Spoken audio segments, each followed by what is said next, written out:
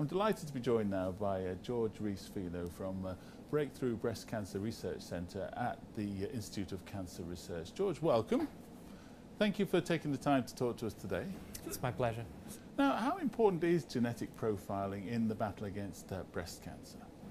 Well, the approaches that we currently use to manage breast cancer patients have proven to be successful. Okay, we have seen a steady decline in the mortality of breast cancer patients in the last 20 years.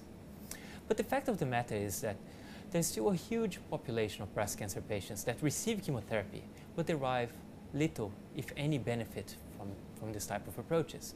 So the development of genomic classifiers that could actually tell us which patients would not need chemotherapy because their outcome, uh, outcomes were so good well, that would be a fantastic thing.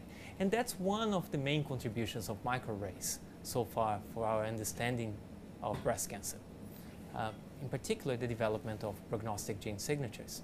So, Jorge, have you got all the results that you were looking for? Have you gone as far as you can with this particular work?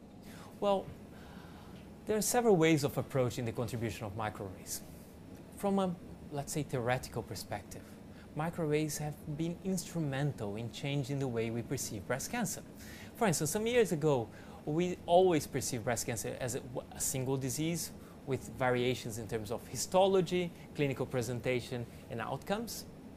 Now we have realized that breast cancer is a collection of completely different diseases that happen to affect the same anatomical site and originate in the same microanatomical structure.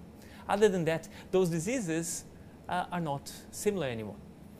this is in particular, this is particularly the case for ER positive, estrogen receptor positive, and estrogen receptor negative breast cancers.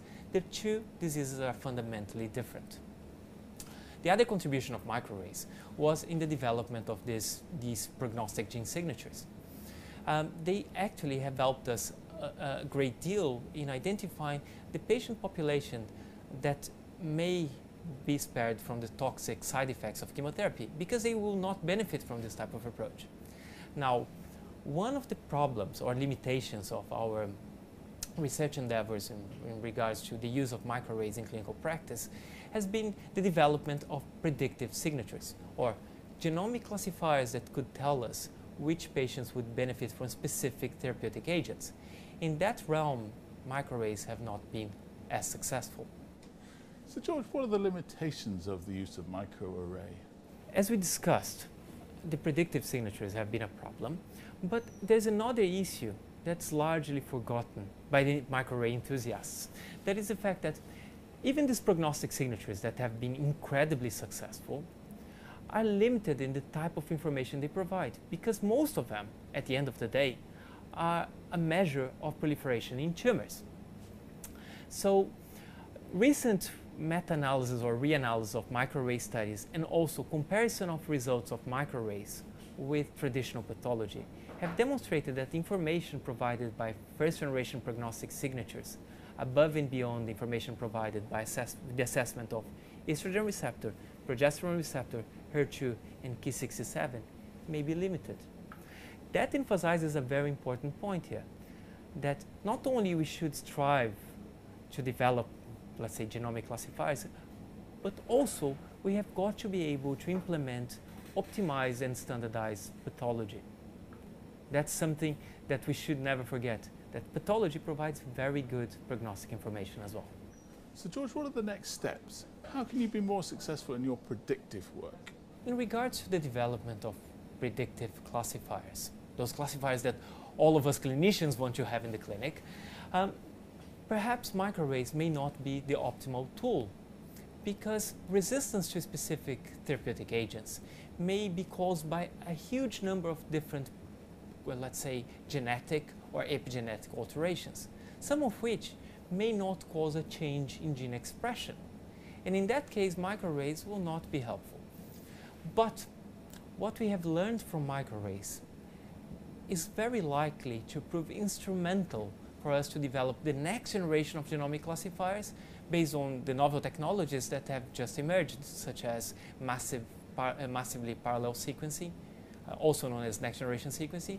Now we have the opportunity of combining the assessment of tumors in terms of histopathology, gene expression, but also genetics. And I think the combination of all of these approaches together may lead to the development of this type of predictors that we need so much.